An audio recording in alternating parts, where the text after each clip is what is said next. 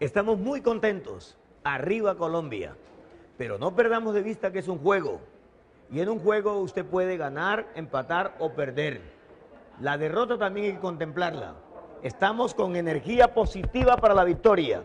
Pero si no se presenta, debemos tener un comportamiento ejemplar, ser consecuentes con todo lo hecho por nuestros muchachos que ha sido sencillamente extraordinario. ¡Que viva Colombia!